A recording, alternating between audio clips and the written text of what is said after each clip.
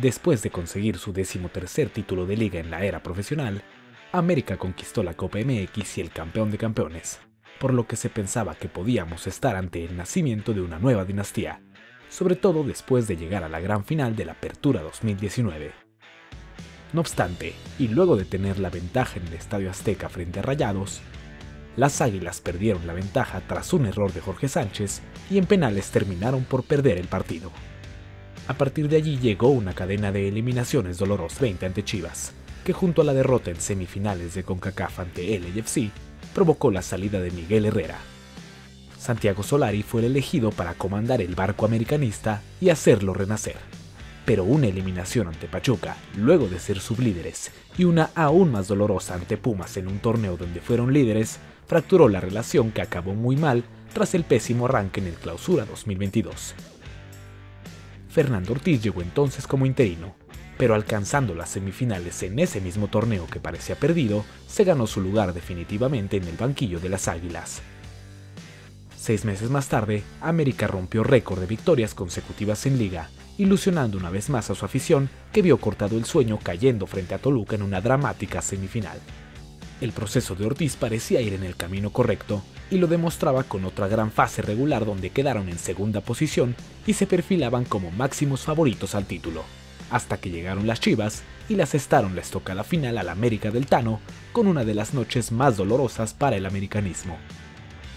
La renuncia de Ortiz tomó por sorpresa a la directiva azulcrema y entonces tuvieron que emprender la búsqueda de un nuevo director técnico donde se barajearon muchas opciones importantes. Al final, más de 20 días después de la eliminación, y a solo unos días de debutar en el torneo, llegó la noticia. André Jardine, hasta entonces técnico del San Luis y el hombre que guió a Brasil a su segunda medalla de oro consecutiva en los Juegos Olímpicos, fue el elegido para encabezar el barco azul crema que volvía a ilusionar a su afición con bombazos que simbraron la liga.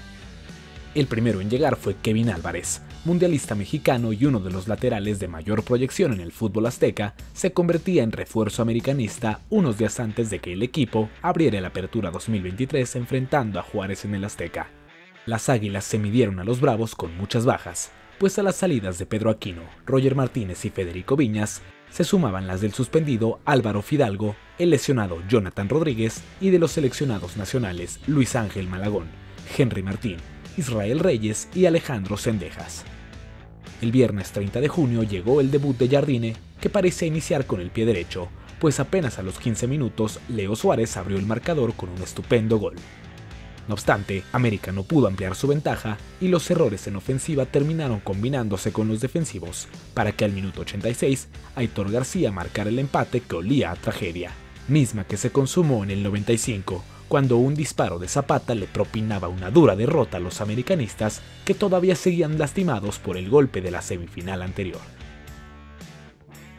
Cuatro días después, el segundo bombazo del conjunto americanista estalló, pues Julián Quiñones fue anunciado como nuevo futbolista del América, recordando aquellas épocas donde las Águilas contrataban a lo mejor disponible en el plano local.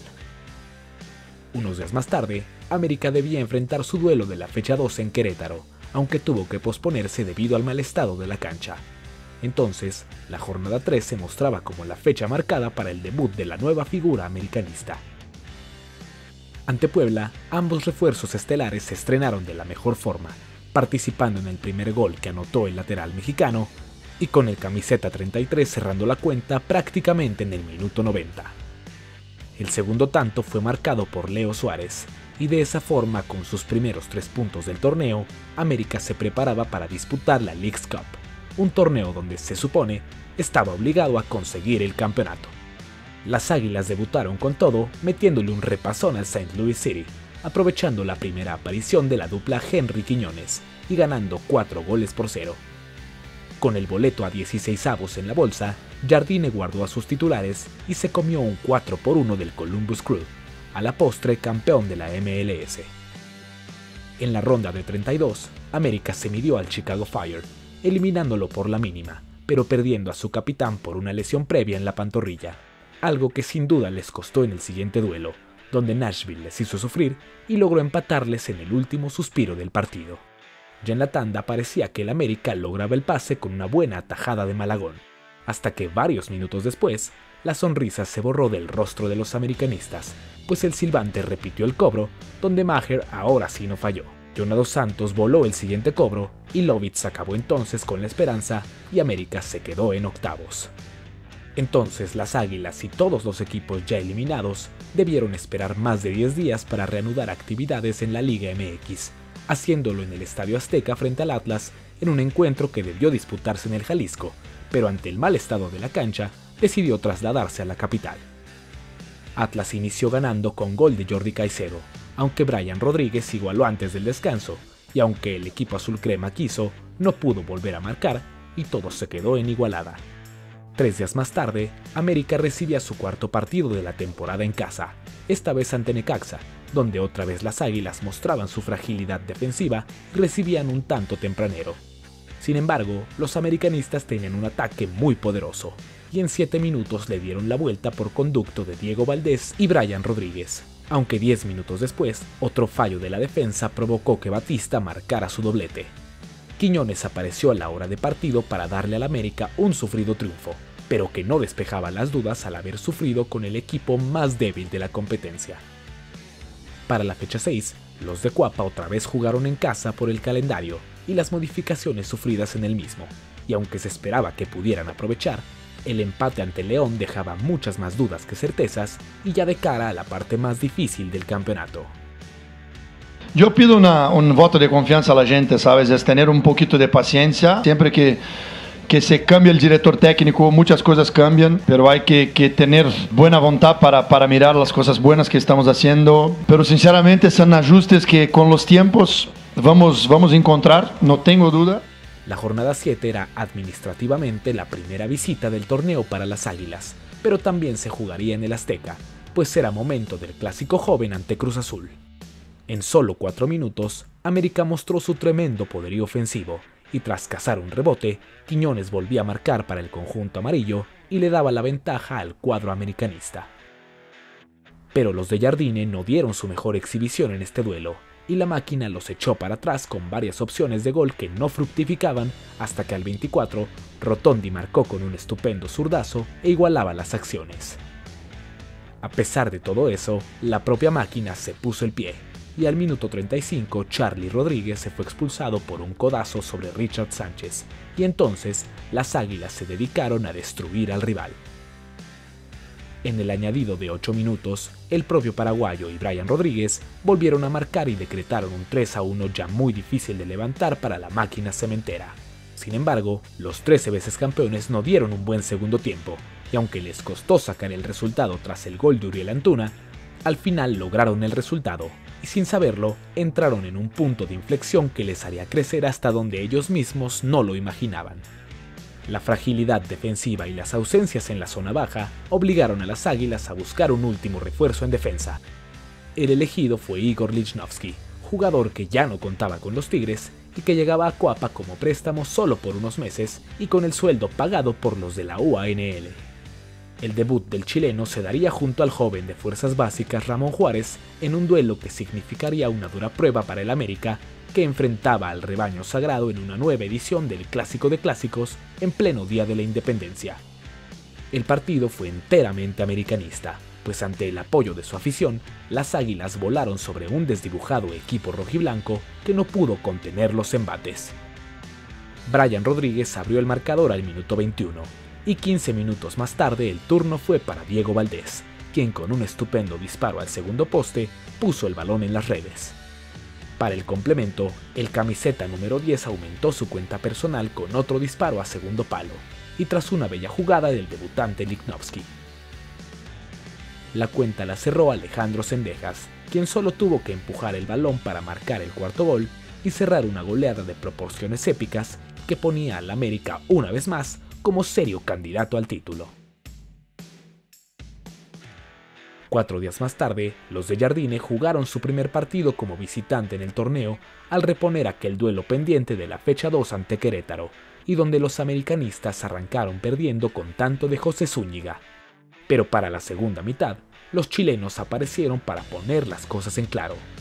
Valdés volvió a marcar e Igor Lichnowsky se estrenó como goleador americanista apenas en su segundo partido, empezando desde ya a ganarse a la afición que antes cuestionaba su llegada.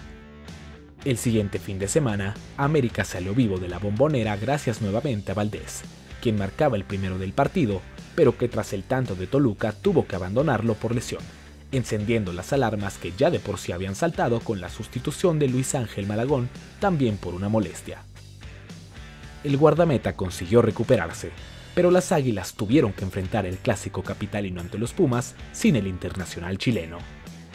En nueve minutos, el América se había adelantado, pero el Bar les echó para atrás un gol que se negaba a llegar en un coloso al borde de la explosión, y que tuvo que aguantarse por más de una hora, hasta que Cabecita Rodríguez cayó en el área tras un ligero contacto con Julio González, y que finalmente fue señalado a instancias del mismo videoarbitraje. El propio Jonathan tomó la pelota y disparó con potencia. Julio rechazó, pero el camiseta número 11 nunca dejó de seguir el trayecto y empujó a unos cuantos centímetros de la raya para decretar el tercer triunfo americanista en los clásicos, despertando una ilusión que ya de por sí parecía encendida. El Estadio Azteca volvió a abrir sus puertas a mitad de semana para que América confirmara su favoritismo y el liderato, destrozando cuatro goles a cero al Pachuca para que tres días más tarde volvieran a ganar en Mazatlán, otra vez con tantos de Lichnowsky y un recuperado Valdés. La fecha FIFA se atravesó entonces y como de costumbre, América prestó a gran parte de su plantilla titular, entre los que evidentemente figuraba el 10, quien volvió a caer lesionado en un duelo eliminatorio con Chile y se perdería todas las jornadas restantes del certamen. América volvió a la liga para enfrentar uno de los mejores partidos del torneo, pues en la cancha del Coloso, las Águilas y Santos Laguna regalaron 90 minutos de emociones y de lucha por los tres puntos entre las dos mejores ofensivas del torneo, y que finalmente se decantó a la causa azul crema, que demostraba que aún recibiendo varios goles, siempre buscaría el arco rival. La fecha 14 trajo una muy difícil visita al estadio BBVA para enfrentar al sublíder de la competencia, el Monterrey, dirigido por el ex estratega americanista Fernando Ortiz. Las Águilas no iban a quitar el pie del acelerador, y con solo dos minutos de partido abrieron el marcador con una estupenda jugada colectiva que terminó firmando el cabecita.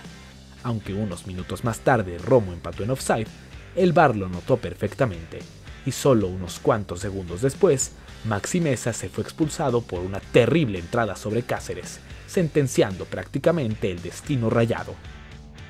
Pronto, Cabecita volvió a mojar con un estupendo derechazo, y aún con 70 minutos por jugar, prácticamente acabó con el partido.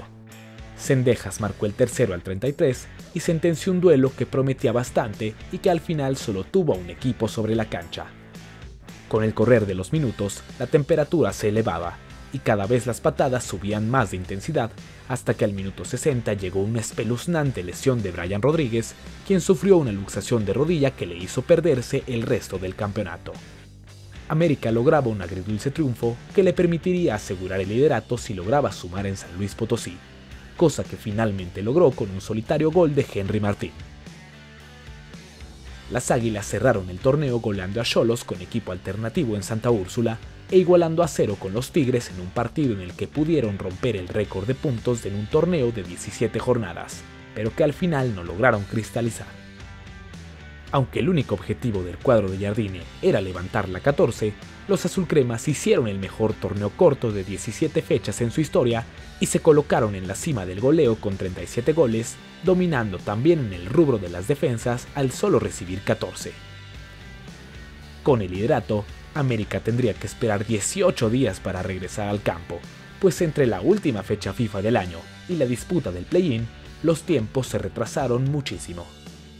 León fue el rival de los emplumados en cuartos de final, un equipo que salió con vida del Azteca y que querría consumar la sorpresa, misma que parecía comenzar su gestación al minuto del juego de ida, cuando Paul Bellón se levantó en el área y adelantó a los Esmeraldas pero los del uniforme morado no se iban a ir en ceros, y en solo 5 minutos igualaron el partido, aunque no sin polémica, pues a pesar de que ninguna toma lo comprobaba, muchos reclamaron un fuera de juego de Henry que no tuvo problemas en mandarla guardar.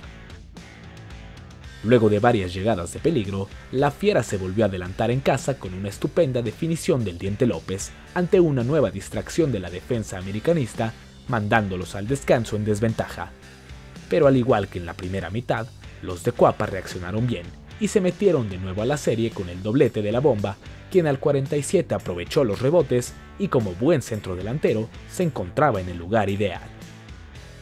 Esa segunda parte trajo muchas menos emociones que la primera, y todo se definiría en el Azteca, donde América solo tendría que conseguir el empate para volar hacia las semifinales. La tensión podía respirarse en el Coloso, donde América no había podido ganar en sus últimos tres duelos de liguilla. Los locales iniciaron bien, pero las más claras del primer tiempo vinieron desde los pies de Viñas, quien a punto estuvo de consumar la ley del ex, pero al final estrelló la pelota en el poste. Unos minutos más tarde el turno fue de Fidel Ambriz, quien se encontró con un balón botando y lo prendió con potencia, aunque se fue por encima solo por unos centímetros. Los fantasmas de una posible eliminación volvían a aparecer, pero al minuto 56 todos estos se disiparon.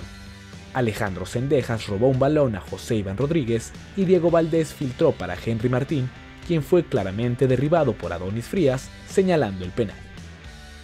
Quiñones tomó la pelota y con tremenda sangre fría cobró a Lopanenka para vencer a Rodolfo Cota y darle mucha más tranquilidad al cuadro de Cuapa, obligando a León a marcar dos para poder avanzar. A partir de allí las Águilas tuvieron un mejor desempeño y se encontraron mucho más sueltos, culminando con la serie al 88 con el gol de Henry que mandaba a las Águilas a semifinales y a León a pensar en el Mundial de Clubes. El rival de los azulcremas sería San Luis, conjunto que había sorprendido al sublíder Monterrey y que ante los capitalinos buscaría dar una de las campanadas más grandes en la historia de las liguillas. No obstante, el América no estaba dispuesto a volver a quedarse en la antesala de la final y saltó al Alfonso Lastras con la idea de sentenciar la serie desde allí. La fiesta la inició Diego Valdés, que con un potente disparo que fue desviado, venció a Sánchez y abrió el marcador al minuto 4. Sals Lamonche quiso responder, pero se encontró con un Malagón Imperial que encontró su mejor versión en esta liguilla y dio pie a una de las mejores actuaciones del América en el torneo.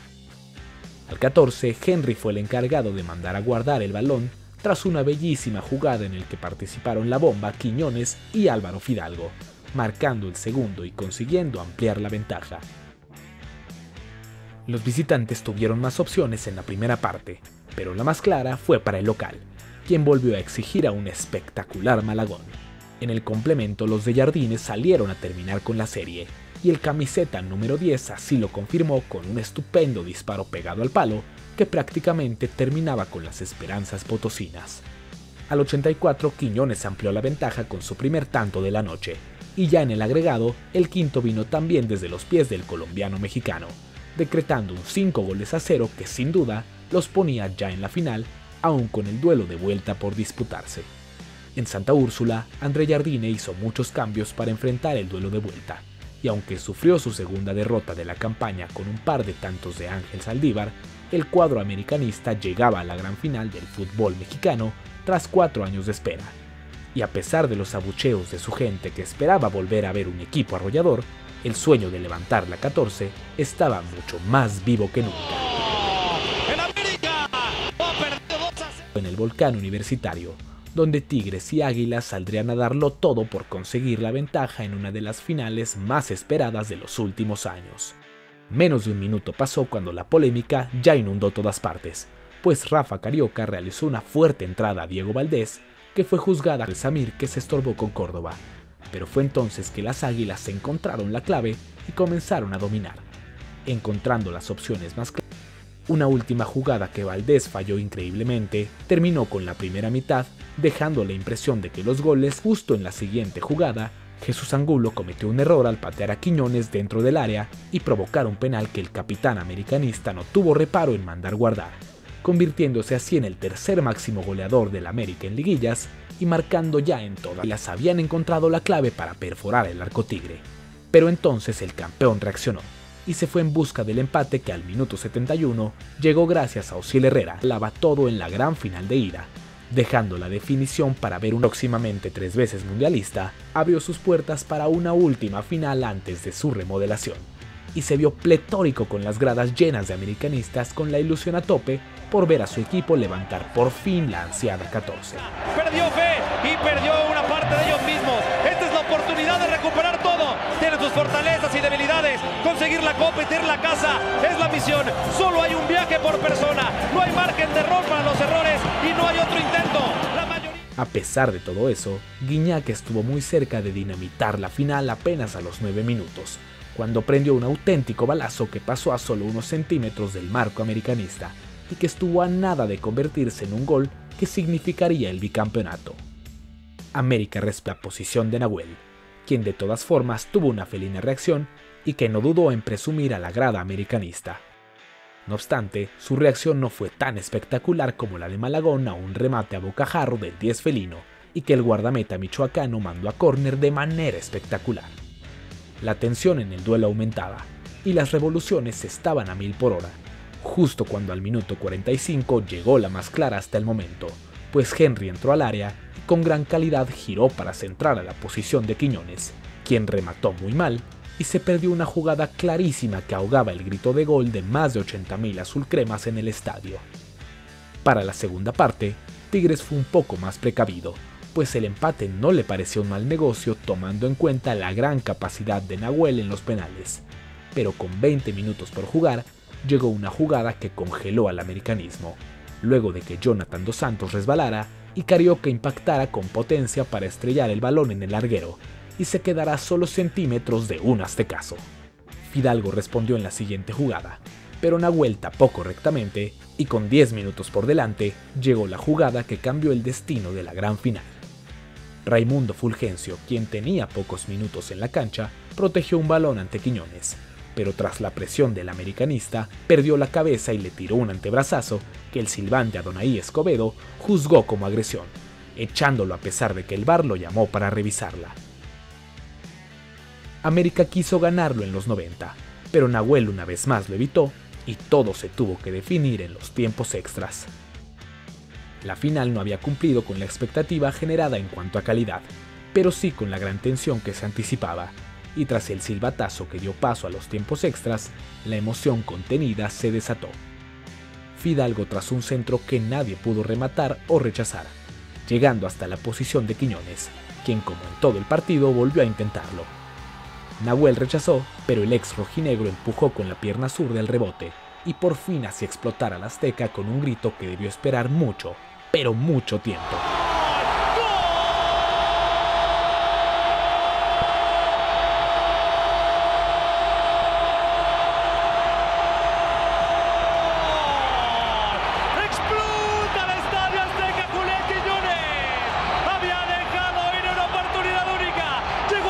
Mientras el tanto se revisaba, Nahuel Guzmán reclamó airadamente y se llevó una tarjeta amarilla que cinco minutos después le costaría la expulsión, pues el arquero tuvo que frenar al desbocado Quiñones que ya se escapaba para marcar el segundo, y al igual que nueve años atrás en la final de la Apertura 2014, se marchó expulsado ante sus infundados reclamos y un enojo que él mismo provocó. La afición azul crema ya sentía la 14 en las manos, y Richard Sánchez la acercó un poquito más con un golazo al minuto 103 del partido. El coloso era ya un hervidero que aguardaba solo el silbatazo final, pero cuando las águilas atacan, siempre es para buscar más. Y Cabecita Rodríguez hizo temblar al estadio cuando llegó el gol que sentenciaba el marcador final de 3 goles a 0, 4 a 1 global, los números que formaban la estrella número 14 en la época profesional, esa que se tardó muchos años en llegar y que cada seis meses parecía cercana, pero que aguardó el momento indicado para hacer explotar a millones de americanistas en cada rincón del país. ¡Se acabó el partido! ¡El Club de Fútbol América es campeón! Cinco años tuvieron que pasar. Cinco largos años. Cinco años donde se vivieron desilusiones. Tuvieron que esperar por cinco años. Pero finalmente, las águilas volvieron al sitio que cada seis meses buscan alcanzar y que su exigente afición y su rica historia le exigen, y que hoy les hace gritar con mucha emoción que por décima octava ocasión en la historia y 14 en la época profesional, el América es el campeón del fútbol mexicano. 14. El Club de Fútbol América es campeón de México. El Club de Fútbol América ha llevado. Si este video te gustó, te pido que nos regales un like y te suscribas a este canal si aún no lo has hecho pues nos ayudas a seguir creciendo y trayéndote los mejores videos de la historia de nuestro balompié y tendremos muchas más historias que contar de las que se encuentran guardadas en el baúl del fútbol mexicano.